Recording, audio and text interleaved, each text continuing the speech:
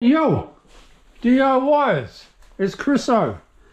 Um, so what I've done here, everyone, is I'm falling down to a strip drain there in the shower and I've come up and out and I'm level and flat.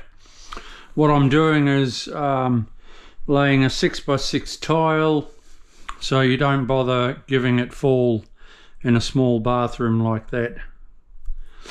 Nah, just stay flat, DIYs, and level.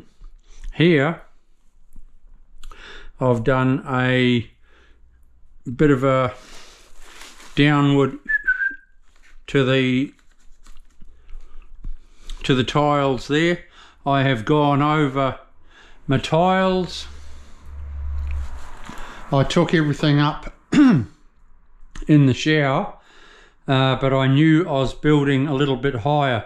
But I had to have I had to take up the tiles and the bed and everything in the shower because uh, so I had enough room for my fall and for the pipe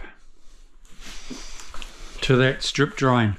So then I'm about a 15 mil bed over my tiles which my slurry is glue gluing my mud down to the tiles and here I'm creating a bit of a so it's not going to be a trip hazard bit of a slope.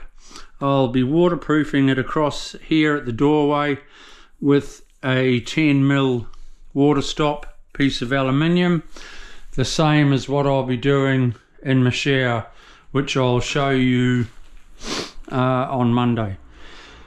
Today's Friday so after the weekend this will be dry, nice and dry, and I can waterproof it without any worries of it being too wet or anything like that. We live in a uh, nice climate and we're having sort of 24, 25 days, so it will be lovely and dry by Monday morning. so then on Monday, I'll waterproof it all, the walls, the whole thing, silicon it all up, bandage it, and then on Tuesday I'll lay my floor.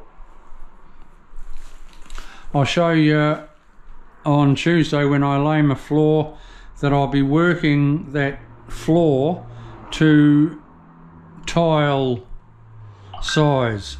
So where my water stop is going to be, it will just look like a grout line.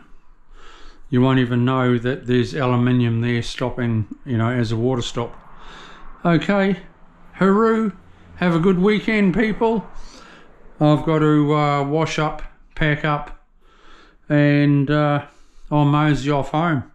It's two o'clock. Uh, I've done all I can do. So it's a nice Friday afternoon uh, I usually only work till about three, half past anyway. So it's not super early for me. Not a super early knockoff. Okay. Hooroo. Stay tuned and we'll see you soon.